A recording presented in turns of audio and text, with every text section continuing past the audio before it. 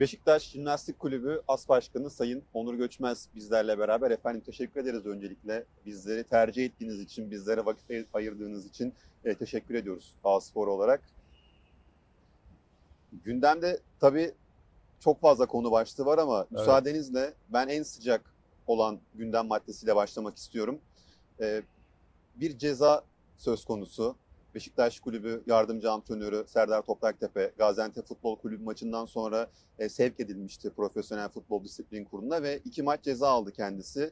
E, bununla ilgili sizin nezdinizde aslında tüm Beşiktaş Jimnastik Kulübü Yönetim Kurulu'nun e, yorumunu, düşüncesini merak ediyorum. İlk olarak bununla başlayalım isterseniz. Öncelikle güzel bir mekandayız bugün. Ee, ben teşekkür ederim. Hep sen de bizlerle beraber Beşiktaş'ın e, arkasından koşuyorsun. Olaylara da hakimsin. Şimdi e, Beşiktaş ne zaman önemli işlere imza atsa zaten ince ince bu hesaplar ve bu oyunlar başlar. Biz bunlara alışığız. Yani illa yönetimde olmamıza da gerek yok. Biz e, tribünlerden gelen kişileriz. Bunlar doğal şeyler. Bunlar olacak olan şeyler daha da olacaktır. Ama burada önemli olan tartışmak, burada tepki vermek. Şimdi biz Antep maçını değerlendirdiğimiz zaman bir kere gözlemci raporuna göre karar veriliyor. Kurullar gözlemci raporlarını dikkate alıyor. Burada hukuksal bir sistem var. Çünkü o kararı veren insanlar oradaki örneklere göre belli bir madde var ona göre karar veriyor. Şimdi size bir soru soracağım. Oynanan bir maçta ben 8 numara oynuyorum, siz 6 numara oynuyorsunuz, rakipsiniz. Ben sizi ittirdim, vurdum size, siz kalktınız, siz de bana vurdunuz. Kim atılır? İkimiz de atılırız değil mi? Doğru. Şimdi gözlemci raporuna baktığınız zaman karşılıklı bir e, münakaşa var. Bu bir sonuç. Şimdi gözlemci, bakın gözlemci e, yapısıyla alakalı ciddi problemler var. Gözlemcilerin bir kere kendilerine gelmesi lazım. Gözlemciler Türk futbolunun görünmeyen belki de geriye giden sebeplerinden de birileri olabilirler. Bunlar çok öne çıkmıyorlar. Cezayı, raporu yazıyorlar. Hak edişlerini alıyorlar. Ondan sonra öbür hafta nereye gideceğiz diye bakıyorlar. Bu işi iyi yapan gözlemciler de var mutlaka. Hiç kimseyi zan altında bırakamayız ama ben 8 yıldır bu sporun içerisindeyim.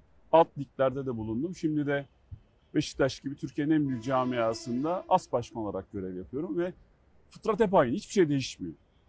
Gözlemcilerde bir ego problemi var. Gözlemcilerde bir iş bilmezlik var. Bakın gözlemci olarak kök sebep analizini iyi yapmanız lazım. Gaziantep maçında bizim hocamız Giovan Bronkhorst'ta sürekli taciz yapıldı yan kulübe tarafından. Sürekli. El kol hareketi yapıldı. Serdar hocamız işi dengelemek için devreye girdi. Yan taraftan sürekli taciz yapıldı. Bunların çekimleri var. Bunların kayıtları var. Tam benim önümde olan şeyler. Bunlar bu raporlarda yok. Soyunma odasında karşılıklı itişme kakışma eğer Serdar Hoca, bakın ben burada Serdar Hoca'nın almış olduğu cezayı e, reddetmiyorum. Biz iki maç ceza aldıysak o zaman adalet varsa, bir hukuk sistemi varsa ve gerçekten bir terminoloji varsa o zaman e, diğer hocanın da iki maç alması gerekiyordu. Eğer o da iki maç alsaydı tartışacağımız konu ya niye böyle olduğuydu. Yapmayın bunu. Biz bunlarla hep karşılaşıyoruz.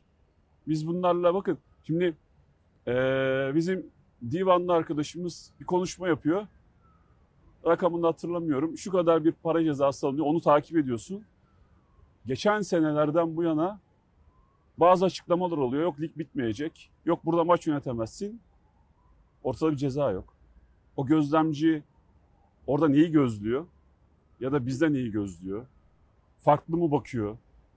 Bu şekilde devam ederse ben de o zaman şöyle bir cümle kuruyorum. Bakalım deneyelim birlikte. Ee, zaten kaydediliyor. Bence de lig bitmez. Bu gözlemcilerin bu şekilde raporları devam ederse, eşitlik, liyakat, hukuk bilmezlik devam ederse bu lig bence de bitmez. Siz de bir iddiaya girelim. Ceza alır mıyım sizce? benim yorum yapmam bilmiyorum ne kadar Hayır doğru siz olur evet ama veya hayır değil. alma ihtimalinizin daha yüksek Var. olduğunu İki maç mı gelir, düşünüyorum. 170 bin lira mı gelir, 110 bin lira mı gelir? belki ikisi, Bir hepsi deneyelim birlikte de yani. olabilir. E, test önemli bir şeydir. Yani bilimsel metotlarda testin çok önemli yeri vardır. Bence de bu lig bitmez. Bu burada benim söylemiş olduğum cümleler sadece bir camiayı kapsayan değil. Bu diğer rakiplerimiz için de geçerli. Bugün bizim canımız yanıyor. Yarın başkasının canı yanıyor. Öbür gün Anadolu takımının canı yanıyor. Herkes bir açıklama yapıyor. Bakın yeni federasyon geldi. Yeniler. 6 ay oldu. Bir değişime ihtiyaç oldu değil mi Türk futbolunda? Ama konuştuğumuz şeyler hep aynı. Ben federasyon başkanının eee kamuoyunda da hep verilen bir algıdır bu. Duruşu, yönetiminin yaklaşımı bir cesur bir kimlik mesajı veriliyor. Ben daha cesur olmalarını bekliyorum. Bakın var sistemi, kurullar ve gözlemciler. Burada çok derin bir yapı var. Federasyonun da üstünde olan bir durum bu. Federasyonun bunlara müdahale etmesi lazım. Bakın biz hep bardağın altında bir şeyler bırakıyoruz. Hep o üste çıkıyor. Bir kere dibi bulmamız lazım. Biz dibi bulma konusunda problem yaşıyoruz. Doğal olarak e, ben burada Serdar Hocam niye iki aldı değil. Bir sorun var ortada. Gözlemci raporlarını iyi okumak lazım. Gözlemci gözlemcilik bir meslek olması lazım. Eğitim almaları lazım. Hukuku bilmeleri lazım. Başıma gelen bir olayı anlatayım mı size? Tabii ki. Biliyorsunuz ben bir kulübün onursal başkanıyım. Ben maçlara gitmeyi çok severim. Üçüncülüklere giderim, ikinciliklere giderim. Onursal başkan olduğum e, kulübün akreditasyonu var bende. Akreditasyonunda da soyunma odasına girebilirim. E, hakemden 15 dakika önce, hakem çıkmadan 15 dakika önce ve hakem içeri girdikten sonra 15 dakika sonra. Bakın gözlemci kalitesini anlatacağım size.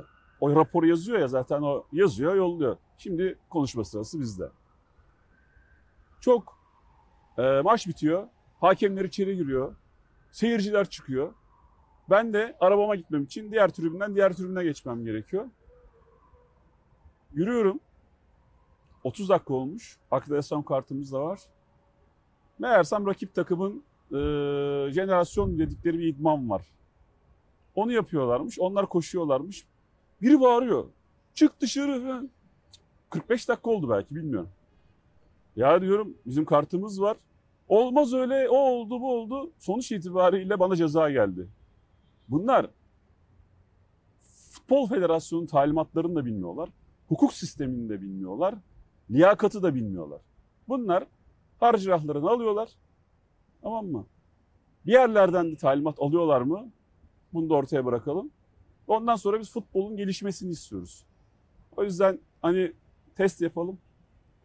Ee, eğer bu şekilde devam ederse sadece Beşiktaş'ın için değil, diğer rakiplerimizin, Anadolu takımlarımızın da başına bu tarz şeyler gelir. Daha ligin başındayız. Bu konuların bu kadar çok fazla gündem olması Türk futboluna hiçbir faydası yok.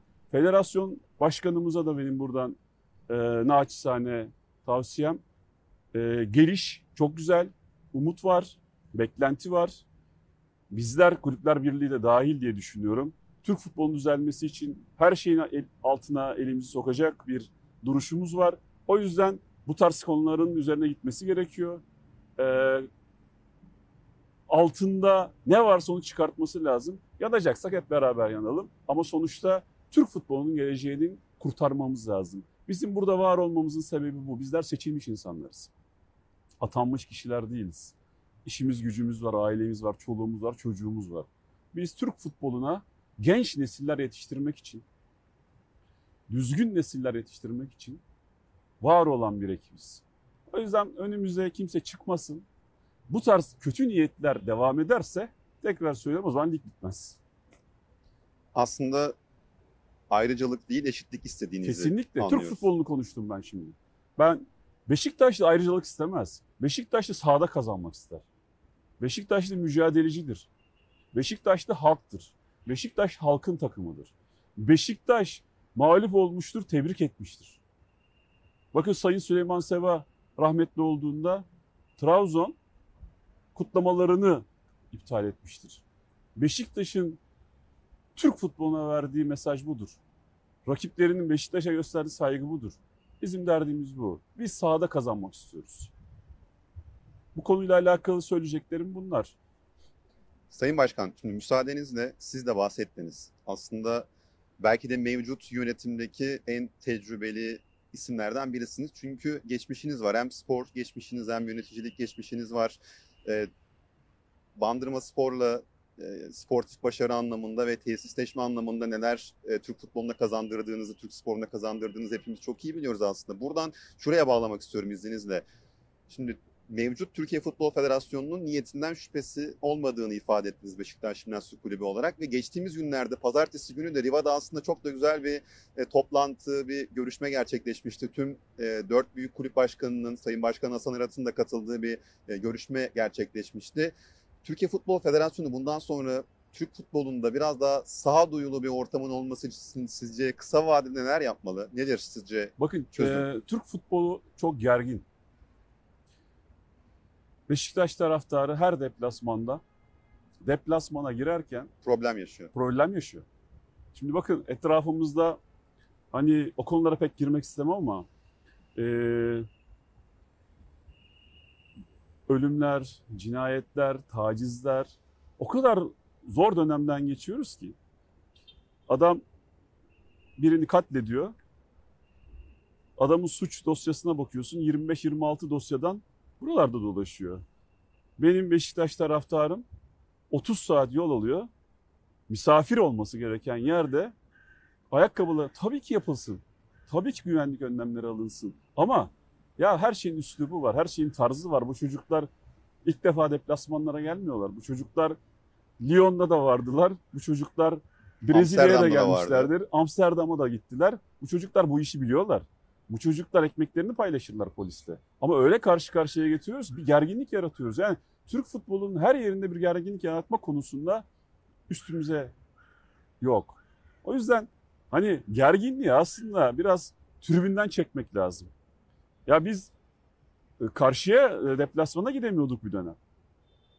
Doğru. Bakın ben deplasmanlardan gelen bir adamım. Kadıköy'de de vardım, Bursa'da da vardım, Başakşehir'de de oldum, Lyon'da da oldum. Oradan geliyorum. Gerçekten o çocuklar e, gittikleri yere bir şey katmak isterler. Gittikleri esnafa bir şey katmak isterler. Gittikleri insanlarla konuşmak isterler. Kültür götürürler oraya. Ama adam diyor bağırıyor biletim var diyor içeri giremiyorum diyor. Ya şimdi bu- buradan başlıyor gerginlik. O doğal olarak o adam maça girdiği zaman tepkisi farklı oluyor. Bakın futbol hayat meyat meselesi değildir. Futbol bir eğlencedir. Futbol bir sosyal organizasyondur. Futbol belki de birleştiricidir. Futbol mutluluktur ya. Yani bir taraf sevinir, bir taraf üzülür ya da hep beraber omuz omuza çıkarsın. Biz futbolu Türkiye'de çok anlamsız bir yere koyduk. Çok gergin bir ortamdayız. Şimdi geçen haftaki toplantı önemli bir toplantı. Önemli olan buna ne kadar uyacağımız. Bu mesajlar her zaman verildi. Burada ne kadar dik duracağımız önemli. Onu yaptıktan sonra 3 gün sonra çıkıp da rakibimizle e, konuşursak olmaz. Biraz dik durmak lazım. Bakın ben burada anlatmaya çalıştığım bazı konular rakiplerle alakalı değil. Bugün benim ağzımdan rakiplerin ismini duymayacaksınız. Bizim derdimiz o değil. Mücadele etsin, kazansın. Şimdi federasyonun bu yaklaşımları güzel. İletişimi güzel. Ama federasyonun unuttuğu, atladığı bir şey var. Değişim sadece federasyonun seçilmişliği değil. Değişim, köklü bir değişim gerekiyor.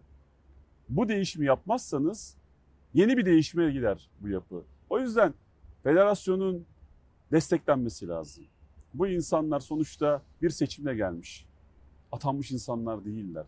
Hem de iki tane adayın olduğu bir seçimle gelmiş. Bütün kulüplerin destek vermesi gerekiyor, yardımcı olmaları gerekiyor ama federasyonun da bariz aldığı kararları dikkatli değerlendirmesi lazım. Mesela ben Sayın Federasyon Başkanı'nın e, bazı verilen cezalarda için rahat olmadığını düşünüyorum. Yani o, o hakem gelir yönetemez, o olmaz, bu olmaz konularında verilen cezanın ben Sayın Başkan'ı mutlu etmediğini düşünüyorum. Rahatsız olduğunu düşünüyorum. Bunları konuşmak lazım. Bunun kök sebebine inmek lazım. Gözlemci eğer raporunda işte şu şu şundan sebep Serdar Hoca böyle oldu, bundan dolayı bu çıktı diye bir rapor yazmadıysa, sadece sonucu yazdıysa doğal olarak o kurul da bunu böyle ce- cezalandıracaktır. O yüzden bu gerginlik ortamının bakın milli takıma yansıyor. Ya geçen bir video çıktı. Bizim evladımız Semih. Türk futbolunun bir çıktısı. No.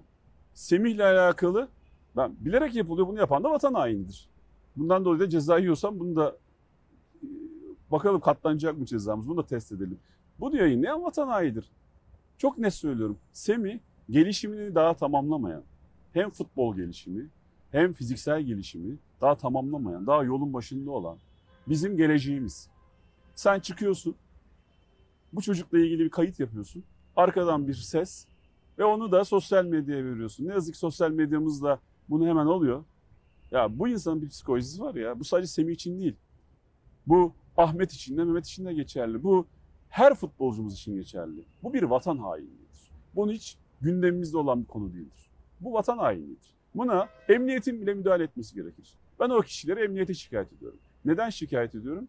Türk futbol takımımızın maçı var bugün. Orada önemli bir değer olan Semih'i demotive ediyorlar.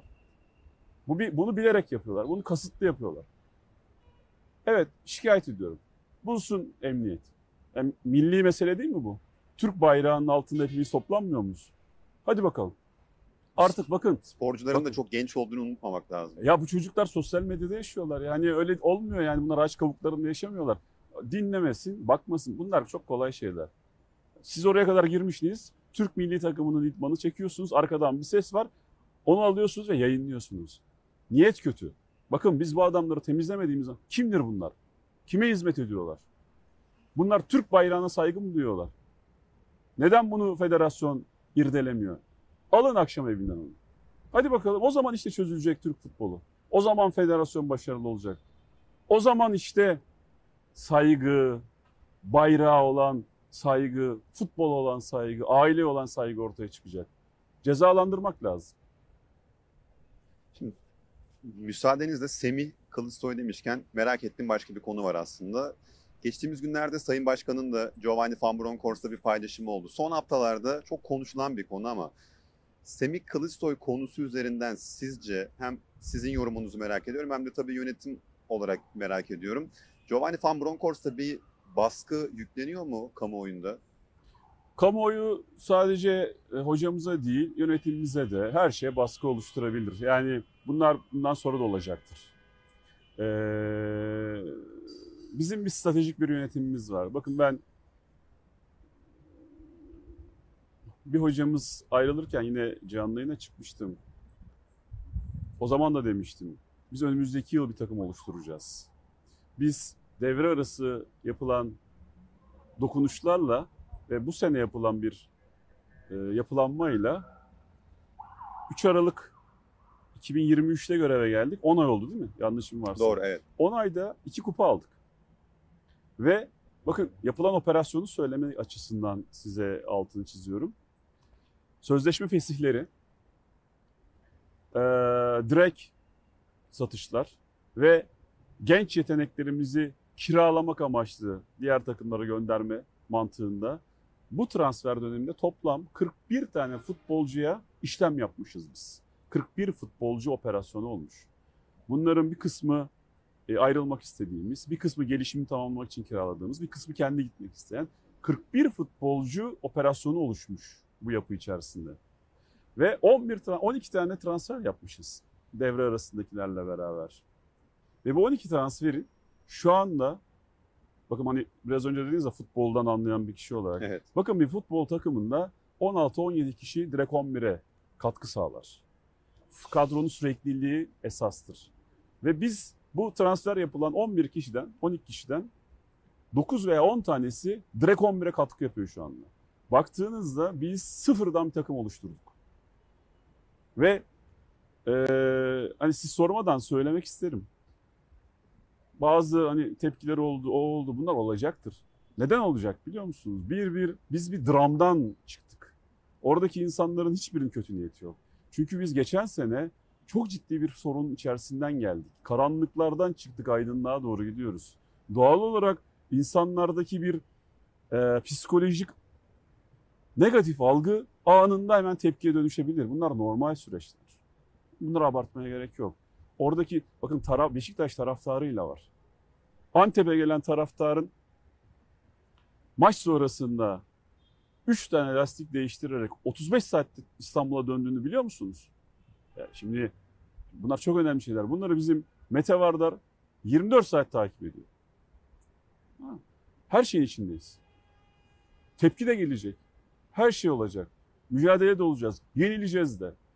Ama bizim hedefimiz sonunda neredeyiz oraya bakmamız lazım. Bu bir strateji ve sürdürülebilir konu.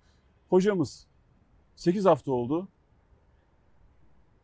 11 futbolcu yeni vermişiz. Ülke ikliminde yeni. Türk futbolunda yeni. Avrupa'dan gelmiş. Kampa bütün futbolcuları yetiştirememişiz doğal olarak.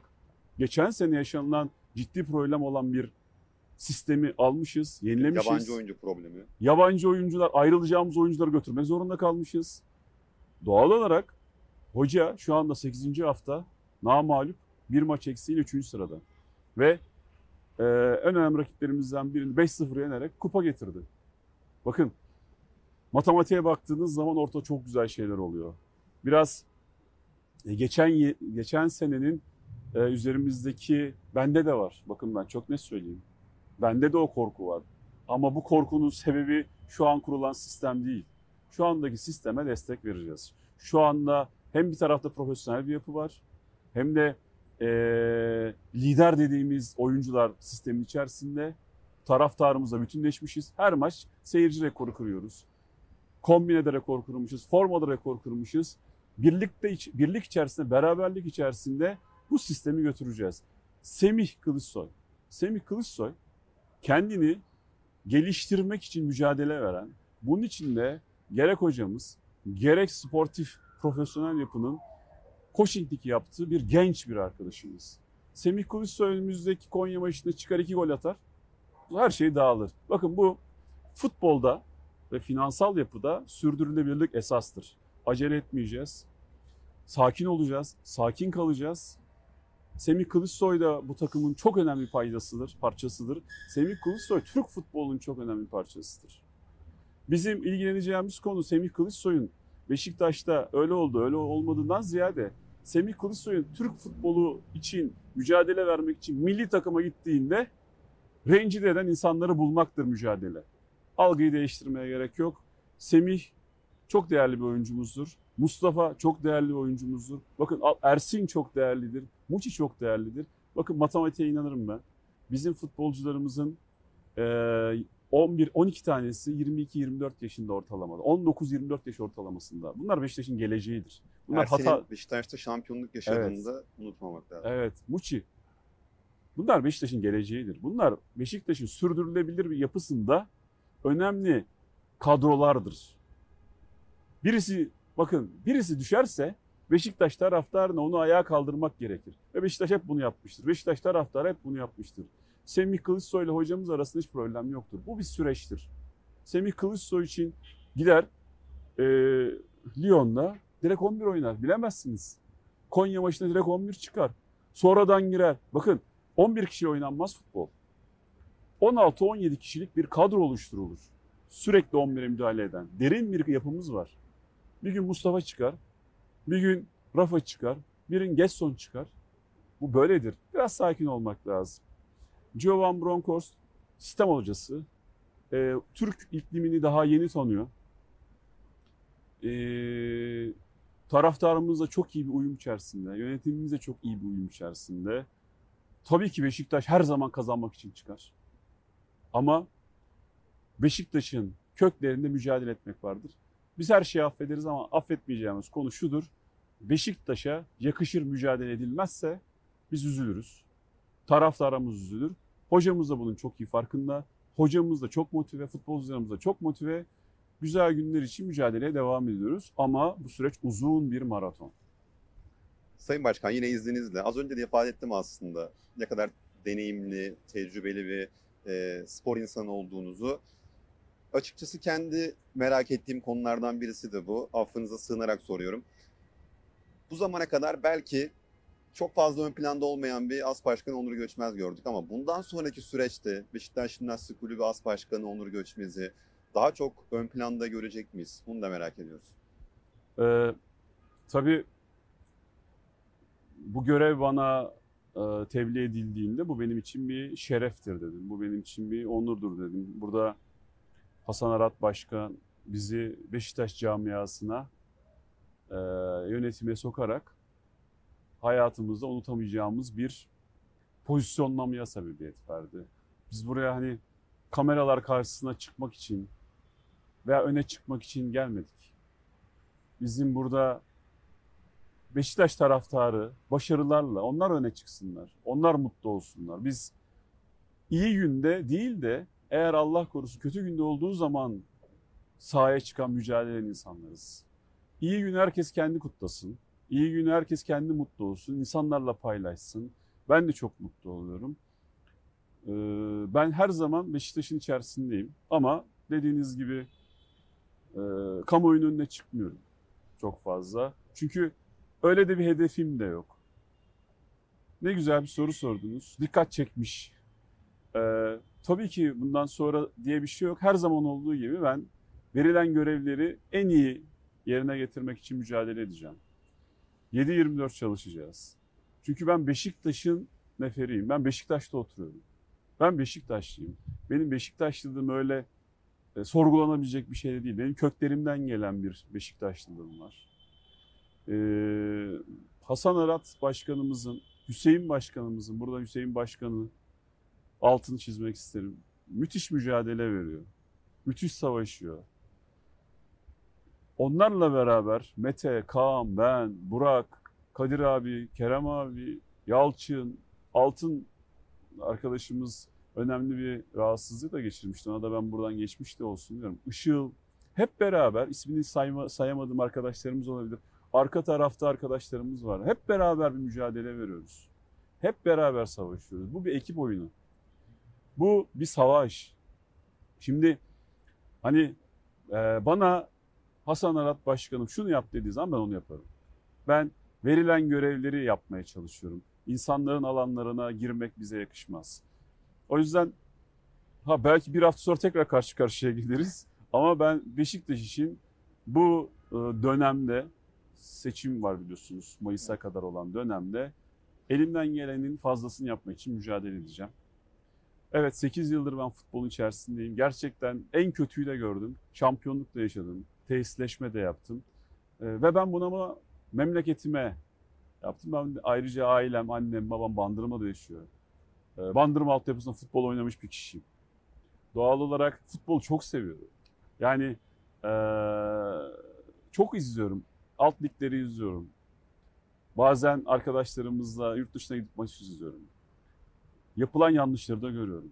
Bunlar oturuluyor, konuşuluyor, tartışılıyor. Sağ olsunlar bana da danışıyorlar.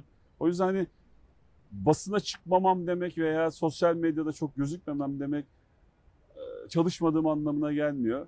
Verilen görevleri en kısa zamanda en doğru şekilde yapmaya çalışıyorum. Ayrıca teşekkür ederim. Sağ ol. Ben teşekkür ederim. Başkanım son sorum artık. Ee, çok da fazla vaktinizi e, aldık. Teşekkür ediyoruz bir kez Rica daha. ederim. İzninizle şunu merak ediyorum. Belki Beşiktaş dışında bir bölüm olacak. Son kısım Bandırma. Siz de bahsettiniz. Gönülden bağlılığınız olan bir e, konu başlığı belki de. Orada onursal başkan olarak hala e, oradaki değeriniz e, devam ediyor, sürüyor. Bandırma Spor çatısı altında orada tesisleşme anlamında yaptıklarınız ve hala yapmaya devam ettiğiniz projeler var. E, Biraz aslında bunu da konuşmak istiyorum. Yani oradaki süreç Bandırma Spor'la olan hatta belki de Bandırma'yla olan tüm süreç. Çünkü futbol dışında basketbolda da yine e, projeleriniz olduğunu biliyorum. Biraz da bunu konuşmak istiyorum müsaadenizle. Bakın ben Bandırma'da yetiştim. Bandırma'da büyüdüm. Bandırma toprakları bana, aileme kucak açtı. Ben de kendimce e, Bandırma'da yaşayan gençlere, Bandırma'daki çocuklara, Bandırma'da Bandırma'ya olan borcumu bir şekilde millet cami yapar, bir şey çeşme yapar, fabrika yapar, okul yapar. Ben de bir tesisleşme anlamında böyle bir e, sistem kurdum. Yani e, buradaki benim Bandırma ile alakalı olan kısım memleket meselem. Bunu hiç tartışmaya bile açmıyorum. Benim hakkımda yazıyorlar ama o biraz e, üzülüyorum ama yapacak bir şey de yok. Yani keşke Batman'lı arkadaşım Batman Spor'a yardımcı olsa. Keşke Bartın'daki arkadaşım Bartın Spor'a yardımcı olsa. Keşke Muş, Van, işte Diyarbakır bu şekilde oranın toprağından çıkan, oranın memleketinden çıkan insanlar oradaki spor takımlarına destek verse. Basketbol biliyorsunuz eskiden Bambit vardı. Türk basketbolunun önemli bir aktörüydü ve şu anda NBA'de oynayan basketbolcularımızın da çıkış yeriydi. Bandırma'da böyle bir kaynak vardı ve spora çok ilgi vardı. Basketbolla alakalı bir çalışma yaptık. Futbolla alakalı bir çalışma yaptık. Futbolda da benim resmi bir bağım yok. Orada bir onursal başkanlığımız var. Tabii ki takip ediyoruz. Tabii ki destek veriyoruz. Basketbolda yavaş yavaş gelişiyor. Ülke sporuna, ülke çocuklarına sağda solda çocuklarımız çok kıymetli. Benim de üç tane çocuğum var. İkisi de basketbol oynuyor. Ülke çocuklarına, ülkenin ailelerine yardımcı olmak için yapılan bir şey. Buradaki sportif başarı oradaki çocuğumuzu alıp milli takıma gönderirsek bizim için en büyük başarı budur. Oradaki benim misyonum o tamamen memleketime olan borcumu ödüyorum. Efendim çok teşekkür ediyorum. Ben teşekkür ederim. Hem röportaj için hem de son bölümde Türk sporuna olan katkılarınızdan bahsettiniz. Bu anlamda da kendi şahsım adına teşekkür ediyorum sizlere bir kez daha. Var mıdır eklemek istediğiniz? Sevgili Furkan ben size sizin önderliğinizde basın emekçilerine çok teşekkür ediyorum. Bizimle beraber her yere geliyorlar, her yeri gözlemliyorlar. Biz Beşiktaş olarak tarafsız, hiç kimsenin adamı olmayan, bütün basın mensuplarına saygımız inanılmaz. O yüzden size ve ekibinize teşekkür ediyorum. Her zaman başımızın üstündesiniz. Ee, Beşiktaş güzel yerlere gidiyor. Ee, arkamızda deniz var biliyorsunuz. Biz oraya yelkenimizi açtık. Devam ediyoruz. Hiç kimse de bizim önümüze çıkamaz. Biz ee, mücadelemize devam edeceğiz. Bakalım son ne olacak. Taraftarımız arkamızda, camiamız arkamızda. Her şey güzel olacak. Teşekkür ederim. Tekrar teşekkür ediyoruz. Çok Sağ sağ, olun. olun. Sağ olun. Efendim A-Spor'da canlı yayın konuğumuz e, Beşiktaş Jimnastik Kulübü As Başkanı Sayın Onur Göçmez'di. Bir kez daha teşekkür ediyoruz. Sayın Başkan Hasan Arat'a ve Hasan Arat nezdinde tabii ki Sayın Okay Karacan'a teşekkür ediyoruz bu röportajdan dolayı.